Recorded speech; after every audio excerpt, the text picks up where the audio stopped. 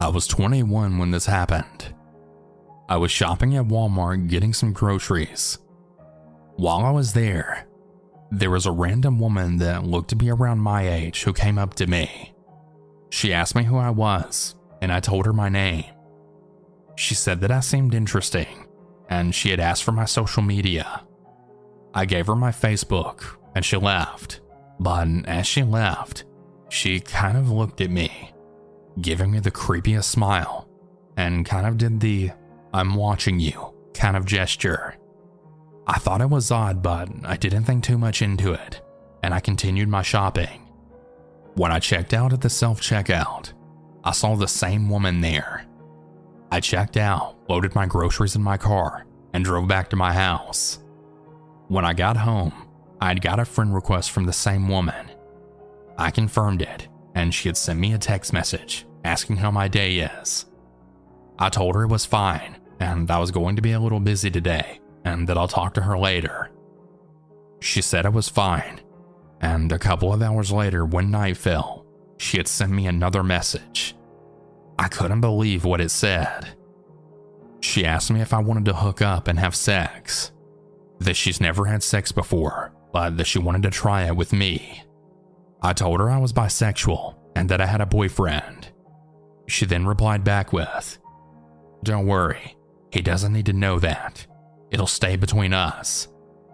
I told her I wasn't interested and that we can just be friends, but she said she wanted to be more than friends. I then replied back with, Um, what part of I'm not interested aren't you understanding? She had totally went off on me after that, cussing me out and like totally losing it. My boyfriend came over to my house later that night to spend the night. When he arrived, I'd showed him all of the messages the woman sent me. He was disgusted. And then, about three hours later, at one in the morning, we heard four loud bangs at the door, then someone screaming. It was the woman. I guess she had looked up my name and found my address, and she had actually showed up at my house. She was screaming like a psycho. If I can't have you, nobody can. I told her to get the fuck off my property or I'd be calling the police. She said she had a knife on her and that if I didn't let her in, she was going to cut herself. My boyfriend then immediately called the police, and they were literally here in about five minutes. As soon as they arrived, they arrested her. I showed the officer all of the messages, and she said to drive to the police station to make a statement. My boyfriend and I got in my car and we drove to the station.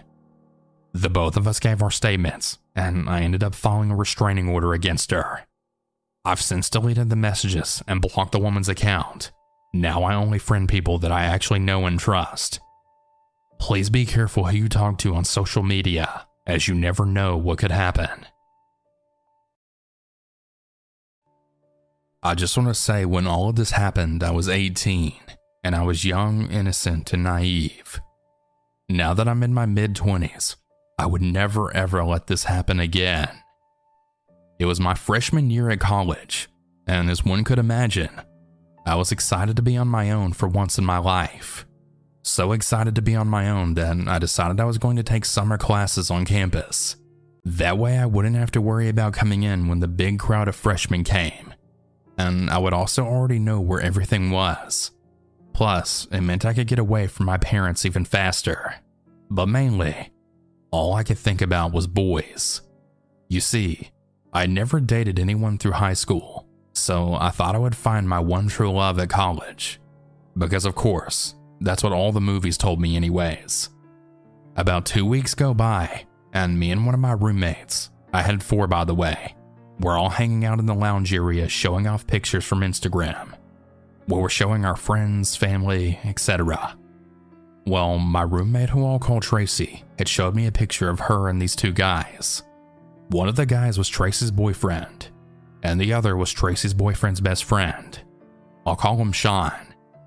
Now, Sean was very attractive, and I even told Tracy that I thought he was hot. And she told me that he went to the tech college near us and that he was single. Now, a day or two goes by after this, and she tells me she told Sean that I was interested in him, and he wanted to know if he could follow me on Instagram so he could DM me. At the time, I really trusted Tracy because she seemed like a really cool, chill girl. so I excitedly told her yes. Oh, how I really wish that I never told her yes. I talked to Sean for about a week before I was comfortable enough to give him my phone number. At first, he seemed super sweet. He would always send me text messages first thing in the mornings, telling me to have a good day at class and that he couldn't wait to FaceTime me that night. And we would FaceTime every night. At first, I really loved it because I had never had a boy give me so much attention. And like I said before, I had never dated anyone, so I was just really over the moon that he was even interested enough to talk to me. But it started to get annoying. He would text me almost every second of the day and try to FaceTime me at least four times.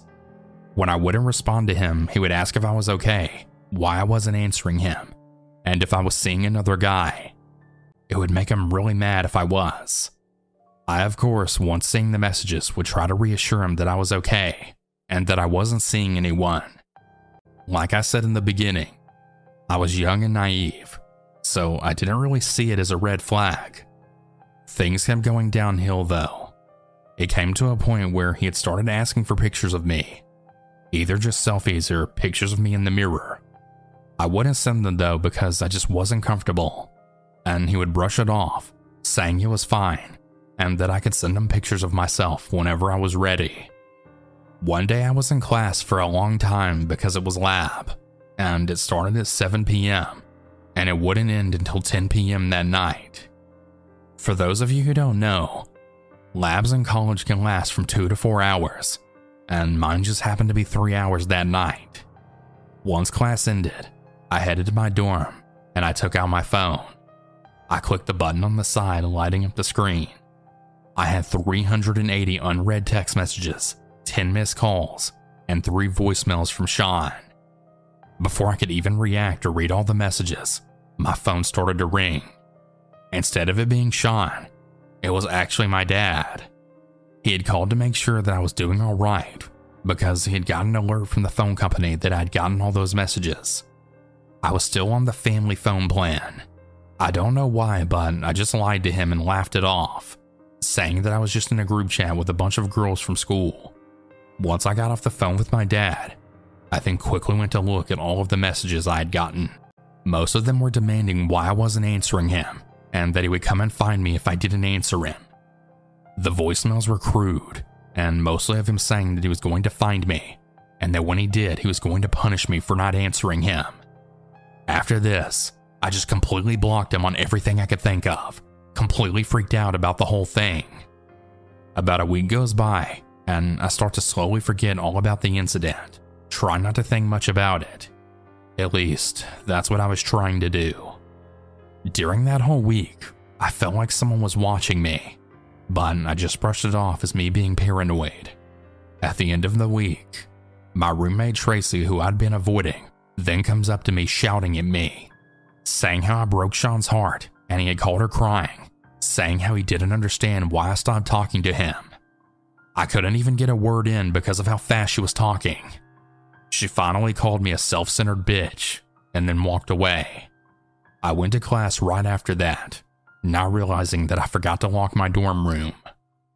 You see, I lived with four girls, and each girl had their own room, which would lock from the outside with a key. Well, when I came back from class, I noticed that my door was slightly cracked open. My heart dropped into my stomach. I hesitated going in. My hands were shaking terribly, but I finally got the nerve to push it open. Nothing. There was nothing out of place, or so it seemed. Even though there was nothing out of place, I could have sworn that I closed the door before leaving for class. Even though I don't remember if I locked it or not, I know for sure that I closed the door. So I asked all of my roommates, including Tracy, if anyone had gone into my room that day and they all denied it, even Tracy. But I just knew in my heart someone had been in there. I tried to brush it off, but I couldn't. So one weekend, when I knew that all of my roommates were going to be out of town, I switched dorm buildings and I roomed with a girl that I'd gotten to be close friends with. After I moved in with her, I then told her all that had happened, and she said that she would walk with me to my classes, which thankfully we had most of our classes together, except for the one night I had lab. She would walk with me to my lab and then wait until my lab was done to then walk with me back to the dorm. One night, though, she had actually gone out of town to go see her parents or something. I was walking back from my lab, and it had gotten really late that night. I heard someone walking behind me, but I didn't pay any attention to it since class was just let out. But as I was walking, I could hear the steps getting closer, so I started to pick up my walking speed. At this point, I could tell someone was following me, and I was really afraid to look back. As the footsteps increased and got faster, I started running as fast as I could. Now, let me tell you, I'm not athletic by any means. Somehow, though, adrenaline probably, I was able to sprint to my dorm building, still hearing someone running behind me. And I thankfully already had my keycard out to get into the building. I then swiped it on the door and then slammed it shut behind me. Looking up from slamming the door, I see someone who's probably about 10 feet away from the door staring at me. Even though the person's hood was up and I couldn't see their face, I could clearly see that they were looking at me. And I just knew that it was Sean. Not wasting any more time, I go to the RA that was up that night, now bawling, telling them what had just happened. He called the police, and I then told them everything that happened. But they basically just said that they couldn't do anything since I didn't see his face. After all this happened, I called my friend and I told her what happened, and she never went out of town again if I ever had any late night classes. I eventually ended up deciding that college just wasn't for me, and I dropped out. I moved back to my home state and I went to cosmetology school to become a hairdresser. I still haven't dated anyone yet, though. Maybe it's the fear of something like that happening again. I'll never know. I do know that I'm super careful with who I talk to now and who I give my social media and phone number to. I'm still scared to go to places by myself, even though it's been years and I'm states away. Even so, I really hope that I never see Sean again.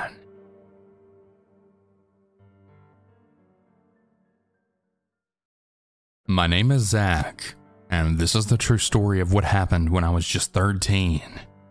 It was September, and I'd just gone back to school after summer break. Everything was fine for the first week. I was happy to be reconnecting with my friends and generally being back to school, but I didn't know it would be so short lived. On that Sunday night, I had dinner with my family before heading up to my room, and I glanced out of my window to see an orange van parked there. Not out of the ordinary, as I lived on quite a busy road, so I thought nothing of it, and I had played some video games before bed. The morning after, I was awoken by the sound of a rough engine, and it was the same orange van pulling up to the same spot. I thought it was a little odd at how early he parked up, but again, I just went about my day. It took me around six to eight minutes to get to school, so I always walked there Everything in my day was going fine. While at lunch, I decided to have my crafty cigarette, as I did behind the bike sheds at school. But when I looked left, all I felt was a chill go down my spine as I had then seen that same orange van parked across the road. This happened until Friday, before a man around 50 to 60 jumped out and then approached me. At this point, I was really scared and I didn't know what to do. The man who I'll call Ron had started asking me many questions about me and my family. If we argue often, how many people I live with, and so on. I was already freaked out at this point, so I just ran home as fast as I could. When I finally got home, I was thinking that maybe he got the hint, and I felt just a little bit more relaxed. Until an hour later, and he was then parked in the same place. At this point, I was so happy it was the weekend. I decided to stay inside all weekend long and just play video games with my friends online. It had turned 6 p.m. on a Saturday, and I was feeling so relaxed. I hadn't even looked out the window. I was about to start a new match with my friends, but my phone rang. I looked, and it said no caller ID. I thought it was my mother, as she would often use her work phone to call me and my siblings. I answered the phone, and as I usually say hello, I got no answer back in return, just very heavy breathing. This happened about four times before a voice then finally spoke. Hello, Zach. I instantly recognized it. It was Ron. I started to panic and I looked outside, and there he was. He was looking up out of his car window at me and smiling. I was way too scared to tell any of my family, so I phoned my friend who I'll refer to as Jack, and I told him everything. He instantly knew that I was telling the truth because he had noticed the orange van around the school too. We spoke about it for over an hour before we decided to call it a night. But as soon as the call finished, my phone rang again. This time I answered, and I then asked, What do you want? To which he then replied back with, You. I've been watching you closely on Instagram. I just hung up after that, and I went to bed really scared. The day after this happened, my friend Jack came to my home to walk with me to school after I called him to tell him the orange van was still outside. We left my home, only this time as we were walking, the orange van had followed us slowly. This is when we decided to run. As we got to the end of my road, the van sped up and then blocked us off. Ron stepped out of the van, grabbing my arm, then saying, I want you. You're coming with me. He also put Jack in the back of the van to stop him from talking too. I then asked him, Why are you doing this? Where are we going? To which he then replied back with, I already told you. I want you. We're going home. As he then shut the van door. Me and Jack panicked as Ron started driving away with us. We searched everywhere in the van for something to help get us out. Just as we had given up, Jack had spotted a piece of the van's metal lining that was loose. We started to pull it off as quietly as possible. As it finally came off, it made a loud noise, and Ron then banged on the van, shouting at us, Quiet! While driving. Me and Jack then took the metal and we forced open one of the doors. Ron was driving at a high speed, so we had no choice but to jump out. There were two people who were walking down the street at this time. They came to our aid as we jumped, and they kept us safe until the police came. Me and Jack told the police the full story, but Ron and his van were never found. I'm not really sure, but I think he was using fake plates on the van. How else would he have not been found?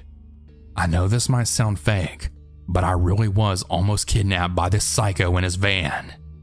A month after all this happened, I had finally started to rebuild all of my confidence with all of the security measures in place. I was finally starting to feel like the old me, and I made sure that my Instagram account was private. I came home with my mother from school, feeling happy, and decided to play online games with Jack. Later that night, I got a notification on Instagram, a new message request. I opened it, and my blood turned cold. Upon reading it, it said, I'm still watching you. and I dropped my phone to the ground. After that happened, I deleted all of my social media accounts from that day forward. And I'm probably not going to make any new accounts for a really long time. Attention horror fans! Are you ready for a one of a kind addition to your collection? Get ready to show your support for our horror YouTube channel by owning a special limited edition MJV plush toy. That's right, we're bringing the scares to life with an exclusive high quality plushie of MJV, our beloved horror character. Imagine having your very own cuddly, huggable version of MJV to keep you company while you binge watch our spine chilling content. But you must act fast, because these limited edition plushies will only be available for a short time. So don't wait. Click the link in our bio and sign up with your email to be among the first to know when pre orders begin. These MJV plushies are the perfect way to support our channel while adding a unique and exciting item to your horror collection. So, what are you waiting for? Get ready to embrace the horror and sign up for your limited edition MJV plushie today.